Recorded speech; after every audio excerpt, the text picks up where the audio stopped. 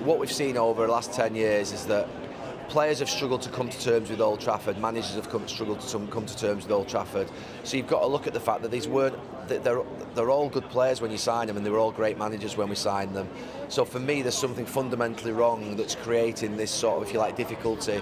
And I would say maybe coming through that, maybe the new ownership, the change of personnel would allow maybe these players next season and the manager to feel more stable.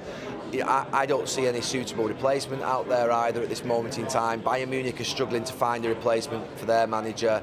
Other clubs are sort of, if you like, struggling as well. I think you know we should stick with Erik Ten Hag, give him one more season to really look at sort of, particularly an injury-free season where we've had obviously a lot of injuries this season as well. So I would say one more season would be worthy, and to see whether we can get back to sort of the standards of last season when we won a trophy and we finished, you know, in the top four and, and got Champions League football.